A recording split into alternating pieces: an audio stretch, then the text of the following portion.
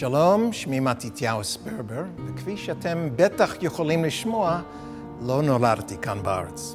בשנת 1977, בגיל 22, עליתי ארצה ביחד עם חברי הגרעין שלי, בוגרי תנועת נוער של התנועה הרפורמית בצפון אמריקה, ומיד ירדנו לדרום הרחוק להקים את הקיבוץ הרפורמי הראשון, קיבוץ יעל. השנה חגגנו 40 שנים במדבר ואנחנו מטפחים חיי קהילה תוססים ומשמעותיים בערבה. בשנים האחרונות אנחנו קולטים משפחות חדשות שבאות לערבה ופוגשות על הדרך יהדות שוויונית, רלוונטית ומתחדשת. אז אם אתם מגיעים לערבה בחגים הקרובים, אני מזמין אתכם לקיבוץ שלנו ולבית הכנסת שלנו לפגוש ציונות עם ערך מוסף.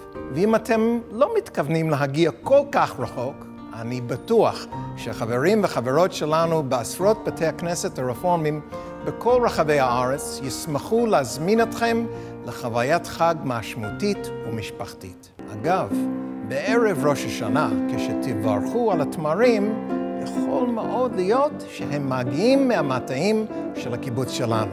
אז שתהיה לכם שנה טובה ומתוקה.